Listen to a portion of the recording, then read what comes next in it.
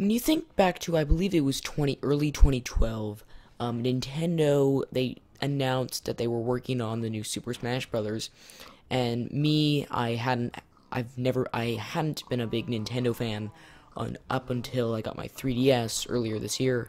The community was very, even though it's we've known about this game for I believe it's about two years now. The game, the game, it's still talked about like crazy. I mean, like the people at my school, I know lots of people. They go on the uh, Super Smash Brothers uh, website every single day and check for uh, the pick of the day, and they've done that for like two years.